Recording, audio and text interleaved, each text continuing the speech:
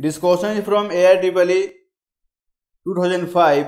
A body A of mass m while falling vertically downwards under gravity breaks into two parts.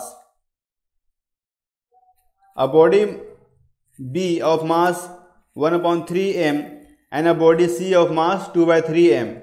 The center of mass of the bodies B and C taken together shift compared to that of body A towards.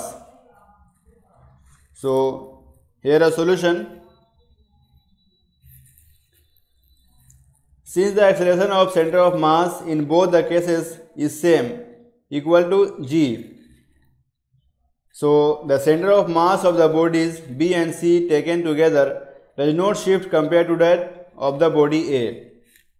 So B will be the correct option that is does not shift.